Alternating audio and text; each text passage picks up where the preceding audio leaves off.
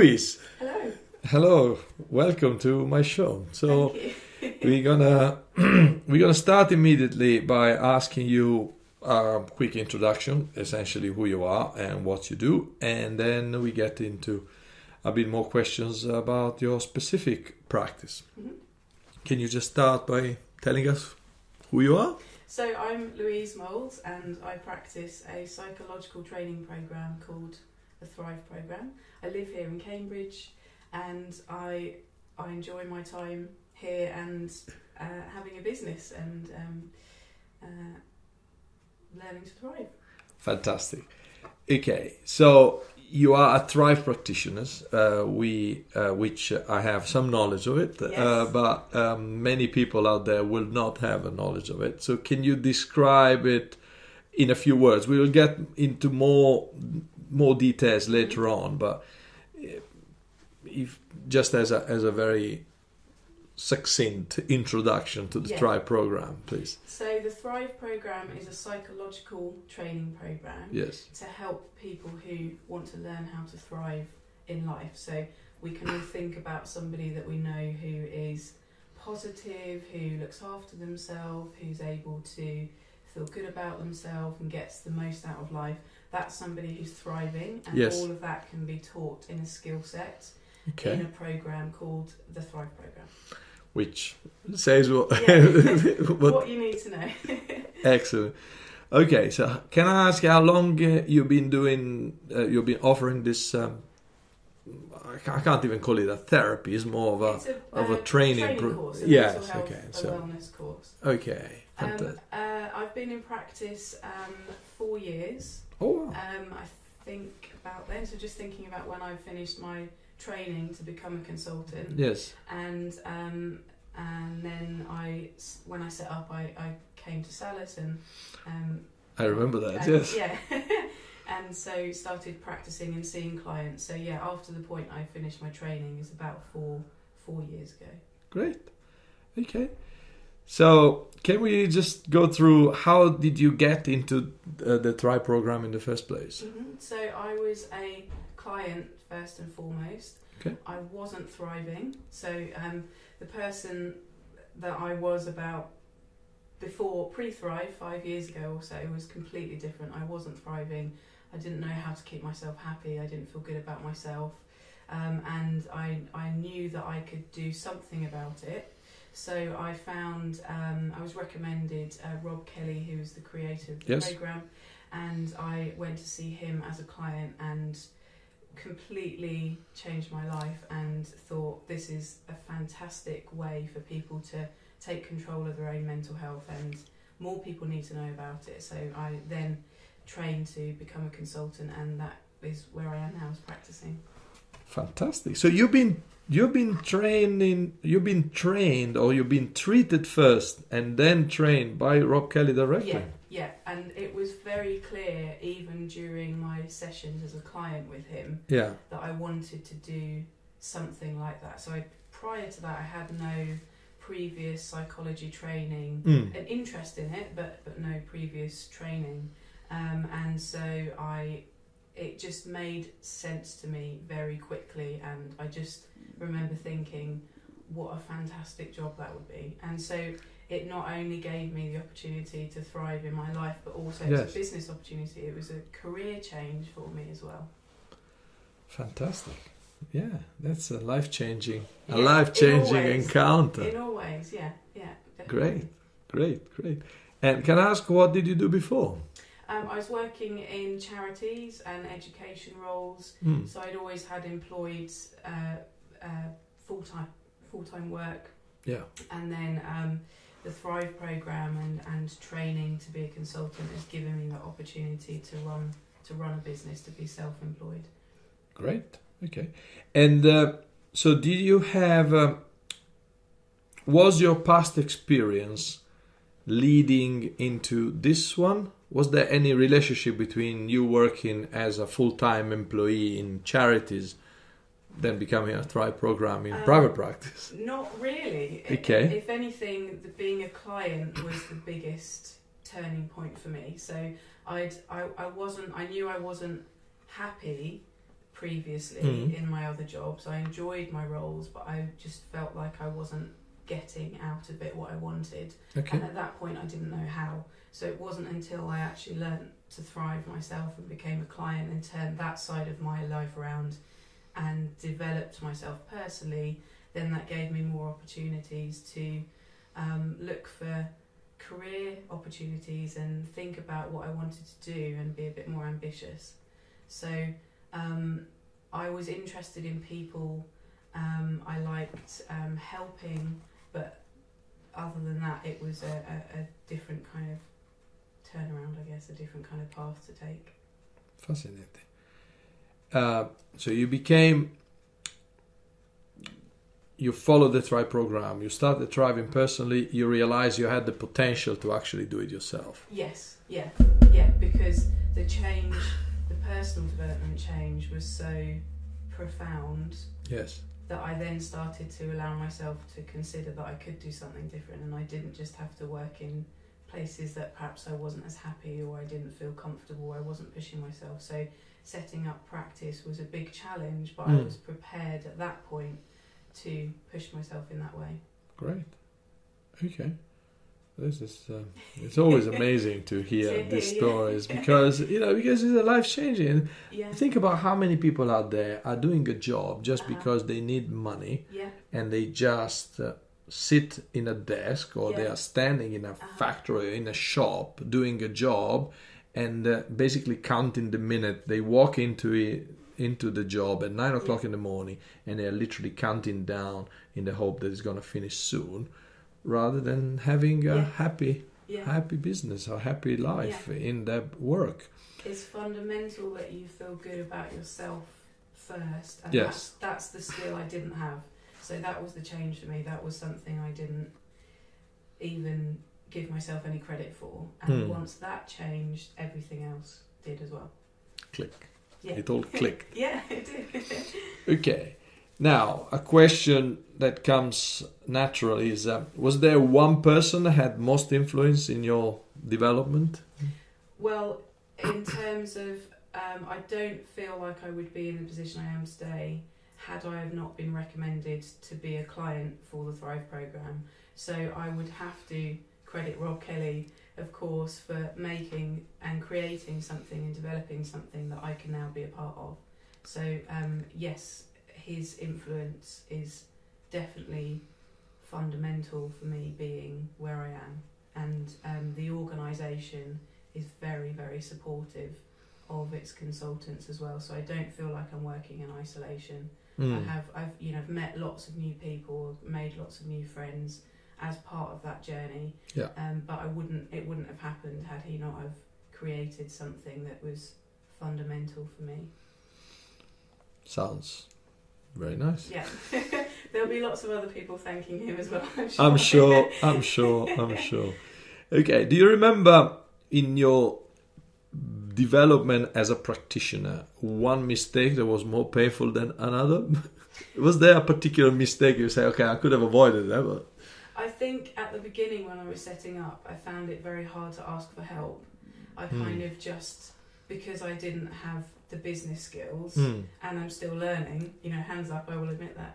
Um, I I probably just jumped in and loved it and was excited about every part of it and sort of forgot along the way that I can't do it all on my own. Yeah. And I do need some help and I do need some guidance.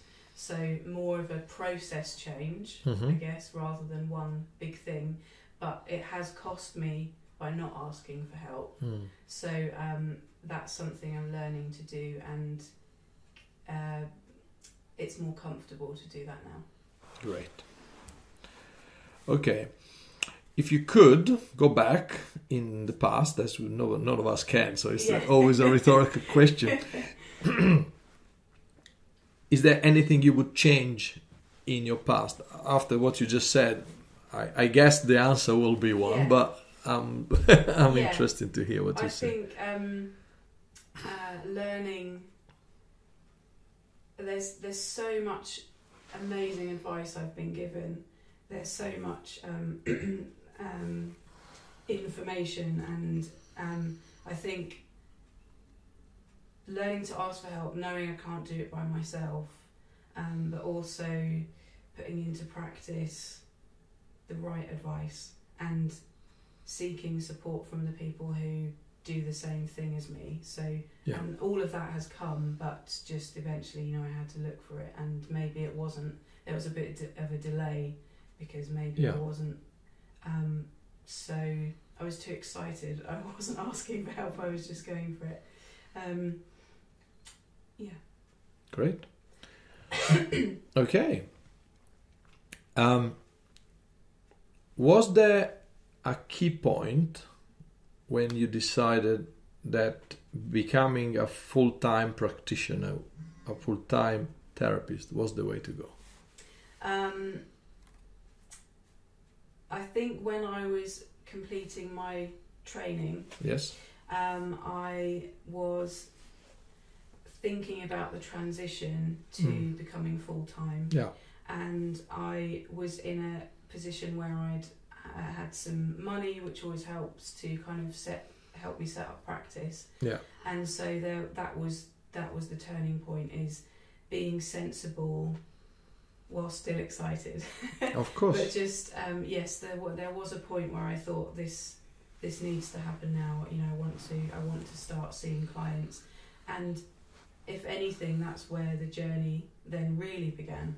So the training, you know, is is great and brilliant and wonderful, but I really started learning so much more when I was seeing clients. Yeah. So that's that's where I wanted to get to. That was always the goal: is to um, set up practice and and and see clients full time. So basically, you started to see some clients. Once you saw some clients, you said, "This is really what I want to do." Yes. Right. Yeah, absolutely. Yeah. And so um, a lot of my client base was um, coming from younger and younger people, Mhm. parents asking for help for their children. Yeah. And so uh, more recently, I've started working with a much younger client base Mm. because of that. So that wasn't something that I predicted where Mm. I would necessarily have younger clients. I thought I had an idea about who might come, what sort of person might come to see Yeah. me most, and so therefore I um, was doing other work and other training as well as seeing clients to help me work with children and get a bit more experience and knowledge with with a younger client base. Great. Okay. Could you just explain in a few words um, first how your therapy work? Then the next question will be more about a sing- how a, a session, a single session, is developed. So, in a few words, if you had to explain to me, because I might be interested in getting this this uh, program, could you just explain? Um, well, the biggest lesson that I had learned as a client is that mental health and well-being is not something that you just have; it's something that you do. So um, that attitude, that skill set, can be taught within the Thrive program. Okay. So the course is um, relatively short compared to other therapies and treatments. Sure. So it's a, it's a course, it's a training program. Um, you commit to a period of about six to eight weeks, and during that time, we would have sessions where you would be learning all the skills that you need in order to build strong psychological foundations and thrive in your life. Okay. A session is 90 minutes long? Yes, yeah. Okay, so there are six or eight sessions, 90 minutes long. Uh, I guess each session is same or different? Each session is different, so the program is tailored for the client. Right. So, you know, an eight year old needing help at school with stress or something like that would be a slightly different session format to, uh, say, a 50 year old suffering with something called emetophobia. Hmm. Um, so, um, depending on the client, the sessions are very much tailored to them and their needs.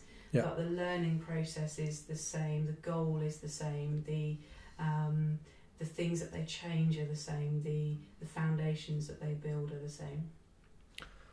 Great. Okay. Um, you already mentioned a few times. So, is there a typical client? Because you mentioned younger people, you mentioned Mhm. people in their 50s. So, is it a broad range of uh, ages, I guess? Uh, yes, I work mainly with emetophobia clients. So emetophobia is a fear of being sick, Okay. um, and there are many, many sufferers of emetophobia. So I, I would see many emetophobia clients. Um, most of them are young as well, so below the age of about 30. Um, and then um, uh, many children inquiries as well, so young children who are at school, maybe teenagers are slightly below. Mm. Um, parents might be concerned for their children and they would um, be able to work through the teen version of the, the Thrive programme. So there's a different course tailored to different age groups but I would say mainly I'm seeing younger clients and um, uh, emetophobes um, around about the age of 30 or below. Okay, great. Um, it seems uh, obvious to me, but I'll ask the question. So, what is the typical outcome of a person finishing the Thrive program? Yeah.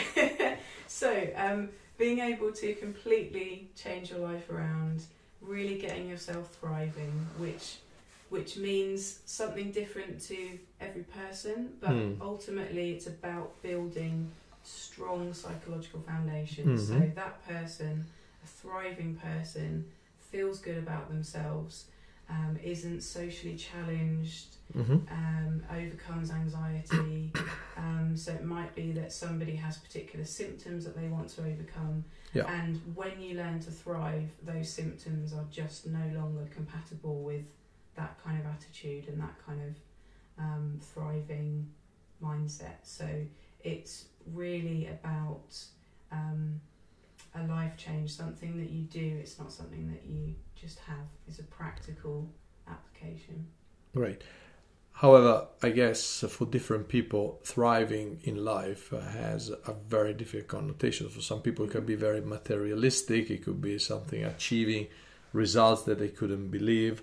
For others, might be Yeah. purely spiritual and feeling super happy all the time with a big smile on their face. And Yeah, the the uh, depending what people um, want to do with it. So the same skill set is you know you learn the same skill set for every client. sure, It's what you want to do with that that that counts and is going to make the difference. So if you have a particular symptom that's very very impactful um, on your life, something like emetophobia, Hmm. then the results are going to be seemingly more um, profound than perhaps somebody who might just want to boost their self esteem a little bit. yeah, Um, but either way, the process is the same. yes, And um, everyone can learn how to thrive. It's an accessible course. yes. So, what I, I understood by speaking to other people as well, just to, to rephrase it a bit, is that um, so you have six or eight modules, each of them will affect in different ways one aspect of your life. So, if somebody, you know, there, there are different, many different ways, and obviously the result is somebody for thriving. So, is there a kind of a of an assessment at the beginning of what the person wants to achieve beforehand so that you say okay how are you going to measure try for yourself being thrive is that the way you work? Yeah. Yes, there's there's a there's a very comprehensive assessment process at the beginning, okay. um, which is um, an online assessment. okay. So anybody that starts the program will need to complete that, and that will give us everything we need to know between us, between me, myself, and Sure. the client, everything they need to know in order to to get themselves thriving. So that forms the um, the information that we need. It we it's it's measurable because we know exactly what we need to change and where we need to change it. Which, of course, as you say, might be different from one client to the next. of course yeah obviously Yeah. as you said it's tailored to the person so and then we revisit that assessment at the end of the course as well. So Hmm. it's it's something that you can see results in a very short space of time, relatively short space. yeah of time. well yeah six weeks is nothing for somebody Yeah. who might have been struggling for many years in their life yeah, yes Yeah. Okay. Can I ask what is your relationship out of this? It sounds like you've been going through uh, the training and then working and then uh, adapting to clients. What is your relationship with patients? Um, I would say that people come to me because I am warm and welcoming. hmm Um, my knowledge and understanding of the program is very good, and I, I feel that that comes across. So Yes. the first time I meet somebody, it's very likely that they will go ahead with the program. So I'm confident that I can um, build a good relationship quickly with the, the people that I see. hmm Okay. What is your relationship with consistency? um, well, within the program, it's very important that the clients are consistent. Okay. So I would need, you know, there are times when I need to be firm and make sure that they're on track, um, and that's something that I've learnt to build upon because it's really important for managing expectations, making sure that they're getting the most out of the program and putting the right amount of effort into it. Um, so uh, my consistency is is that they need to be consistent. I guess it's kind of a cyclical thing. Okay. That yeah, absolutely. Um, and uh, how? What is your relationship with adaptability and quick changing of direction in terms of like in, as developing your business? You've been working on developing this business. How important is uh, this? Um, being adaptable, I think, is very important. Flexible, because the program itself is always changing. So Mm. we look at evidence-based practices. Um, Yes. We um, the organisation puts a lot of work into changing the program when it needs to be changed and updating it. Mm-hmm. So my practice changes alongside that. I do need to keep up to date with everything. So I think that's important to be adaptable. Since I've started practicing, there's been many changes, Hmm. and m- all of them amazing. Um, and it makes it helps me to deliver a better course, a better program for the client. Yeah. Um, so I think that I have needed to be adaptable, and I have coped with that, and I have managed it very well, and stayed on track, and still excited about it. So still know what I want to. Yeah. I want to carry on. Okay. Now, talking about yourself in your in your life, uh, um, applied to your business, obviously, is there any daily or weekly routine that you follow? Uh, yes, um, thriving, which means um, keeping myself happy, keeping myself, um, being kind to myself. Mm-hmm. Um, so having your self esteem um, kept high Mm-hmm. and knowing how and when to boost it. I think high self esteem is the best coping skill you can have. So that's important. If Mhm. I'm not uh, managing my thinking, then everything else around me doesn't work quite so well. So, do you do specific exercise or, or Yes, yeah. So uh, Thrive program exercises. Okay, so there are specific exercises Yes. which you carry on for the rest of your life, basically. Absolutely, yeah. Ah, I but it, but if you practice them enough consistently in that you know six to eight week period, then um, it becomes a habit. So it's not something that it's it's not just about resilience, just having to kind of pick myself up every day. Yeah. It's about being consistent and being psychologically well. And once you practice that enough to the point where it becomes a habit, it just takes a little tweak every day, and that's enough to, to keep going, keep thriving. Great. Okay, so building up habits. Yeah. Okay. Do you have any particular morning routine in what you do from when you wake up when you wake up in the morning until you do the first hour of work or whatever?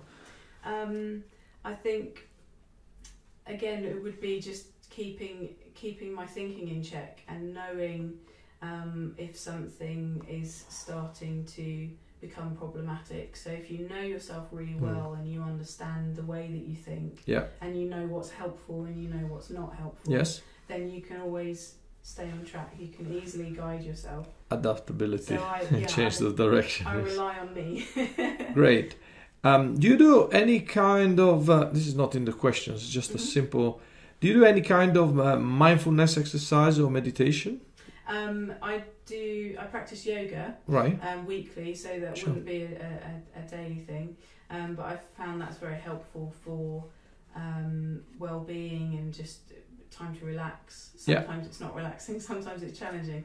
Um, but but that's what I enjoy. Yeah. Which, which led to the next question: Yeah. if you exercise and uh, how often? So Yeah. you you do yoga once a week. Yeah, and I like walking and um, um, challenging myself more in terms of um, exercise, so climbing and those kinds of things. Oh wow, okay, that's interesting.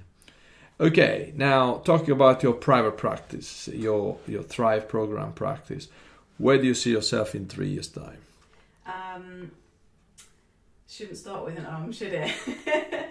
um, where do I see myself in three years' time? I still definitely will be practicing the Thrive program. Okay, I can't see that not being a part of my life. okay, um, and um, seeing more clients, seeing more people, helping more people, um, helping people to understand that they can take control of their mental wellness and it's not something that's out of their hands. Um, so again, just carrying on as I am and building building on my practice, asking for help. How about that? asking for more help and Yes. building a, a bigger bigger client base. Yeah. great. Now, if you could help, if you could give someone who is interested in starting in private practice, whether within the Thrive program or, or any other private practice, what would be your advice? Go for it. I have I have recommended clients to clients of mine to, to train as consultants. So a few Right. of them have been interested in that um, because they were in the same position that I was and realised Right. that it was profound for them and they wanted to do more with it. Yeah. Um, so um, yeah, recommending um, the training to people is, is is has been definitely a conversation that I've had. Um, outside of the Thrive program, then yeah, because it gives you the opportunity to be self-employed, Mm. um, to be independent, Yes. um, and um, even with someone like myself with Yeah. no prior business training, Mm. I've managed to do it. So you can, you pick up the skills, you learn, you ask for help, and you'll get there. You adapt, Yeah, you adapt. Change direction. Yeah. check what works. Yeah, Yes, it is quite common. I've noticed uh, a lot of people become uh, become therapist of some kind in Mhm. private practice after having tried. Um, so I've seen massage therapists that after receiving lots of massage they decided to do Yeah. that. So yeah. it's a pretty common, or very often people have life changing experience like yourself. You know, Yeah. you you are in a situation, one particular uh, program or training or, or, or therapy helps you to change, and then you say, okay, if change me, I can change other people. I can do it, and some people decide to go for that Yeah. career. It's quite common, so yeah, it's fascinating to see this kind of evolution. yeah. Louise, this has been a very interesting conversation. Thank you very much for your for your answers, you. and I hope uh, it's gonna help uh, other people out there maybe to decide to become Thrive program Yeah. Thrive program consultants, or or to come and maybe see you because they get interested in uh, in exploring that possibility for themselves. So Yeah. thank you very much, and um, all the best for your future. Thank you very much.